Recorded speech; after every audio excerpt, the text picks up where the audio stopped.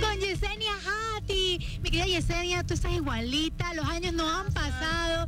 ¿Qué es lo que te trae por acá, por tu tierra, por Ecuador? ¿Estás de vacaciones? No, no, en realidad vine a resolver unos eh, temas de mi, de mi título, entonces tengo que llevármelo a los Estados Unidos porque estoy queriendo seguir un masterado, además pues por otros asuntos. Regia. Sí, sí, sí. Entonces además quiero, tengo que presentarlo a, a una empresa que pues está mm, tentándome eh, y pues eh, en base a eso pues vamos a ver qué es lo que pasa más adelante con mi futuro profesional. Cuéntame, ¿cuál es la diferencia de la farándula que ves hoy día, la que has escuchado, la que ves en redes sociales, a la de tu época? Yo no voy a criticar porque yo también hice farándula.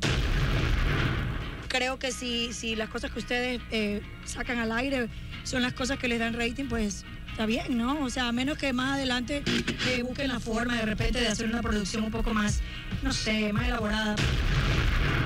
Pero está, está bien, o sea, está bien. Así que yo te felicito por tu trabajo porque tú eres una chica muy entradora, así como era yo. De la Hati. Ay, qué linda. Así me dicen, soy la Porque, mamá. ñaña, sé que has hecho algunas cosas en esa época, hiciste muchas cosas para obtener una nota. Bueno, y- Pero de la, en buena manera, ¿no? Claro, o sea, lo que pasa es que a mí me atribuyeron cosas que realmente yo no hice. Lo que- eh, eh, el tema es que yo era muy entradora. Este, y así era al principio, al principio eso era como muy tabú. Fue una de las primeras que te abordaba donde quiera que tú estuvieras. Entonces recibí muchas críticas. ¿Cuántas hiciste a Marian Sabaté? ¿Algunas? Sí, María Sabaté algunas. Sí, sí. Pues María Sabaté también. Ya, no, pero por, algo Marian es la reina de la prensa rosa. ¿Qué actor o, cantante fue que te dijo que tenías piernas bonitas? Ah, Gerard Butler, ¿escuchaste eso? Sí.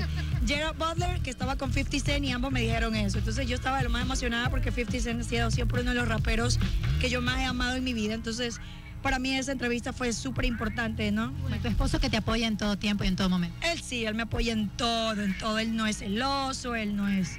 Es, es un Suma, suma. Sí, totalmente. Es un excelente padre. Entonces, para mí, la decisión que tomé de irme junto a él ha sido la mejor que he tomado en mi vida. Y siempre será. Para Teleamazonas, Mónica Buccelli.